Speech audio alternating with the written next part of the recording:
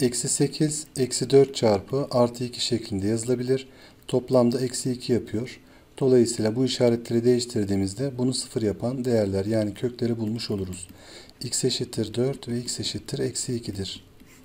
Bunlara bağlı tablo yapalım. Eksi 2 ve 4 yazdık. Bunlar köklerimiz. Baş katsayımız pozitif. Artıyı buraya koyuyoruz. Kök gördükçe işaret değiştiriyoruz. 0 ve sıfırdan küçük olan negatif olan kısımlar alınmış. Dolayısıyla eksi 2 dahil 4 dahil aradaki sayılardır. Eksi 2'den başlayıp 4'e kadar giden sayılara baktığımızda eksi 2 ve eksi 1 iki tane negatif var. 1'den 4'e kadar 4 tane pozitif var. Bir de ortada 0 vardır. Toplam 7 tane değer yapar. Doğru cevap A seçeneğidir.